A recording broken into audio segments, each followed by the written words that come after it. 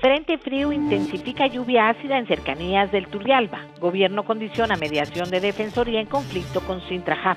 Fiscal General pide investigar a director del OIJ por caso de uso ilegal de datos de Keylor Navas. Joven con cáncer terminal en Estados Unidos cumplió su deseo de morir dignamente este domingo. Hoy es lunes 3 de noviembre y estas las noticias. Buenos días. La entrada de un frente frío este fin de semana intensificó la lluvia ácida en las cercanías del volcán Turrialba, que afectó poblados de Alvarado, Oriamuno y zonas altas de Cartago. El tipo de material que se expulsa en la ceniza este, tiene eh, un poder corrosivo ¿verdad? sobre metales y bueno, eso se traduce en lluvia ácida. El ministro de Trabajo, Víctor Morales, afirmó este lunes por la mañana que aunque valoran de manera positiva la mediación de la Defensoría en el conflicto con el Sindicato de Trabajadores de Capdeva, no van a iniciar la discusión partiendo de cero. De entrada tendríamos nosotros que decir ahí en esa mesa que no estamos de acuerdo con eso. El fiscal general de la República, Jorge Chavardía, solicitó este lunes a la Fiscalía Adjunta de Probidad, Transparencia y Anticorrupción que incluya al director del organismo de investigación judicial,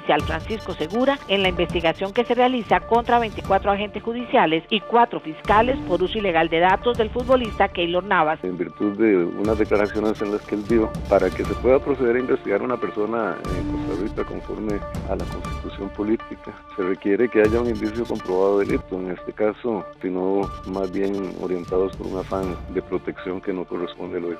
Brittany Maynard, una estadounidense de 27 años que sufría un cáncer terminal, cumplió su deseo de morir voluntariamente este domingo apoyándose en las leyes del estado de Oregón y provocando una ola de debate sobre el derecho a morir.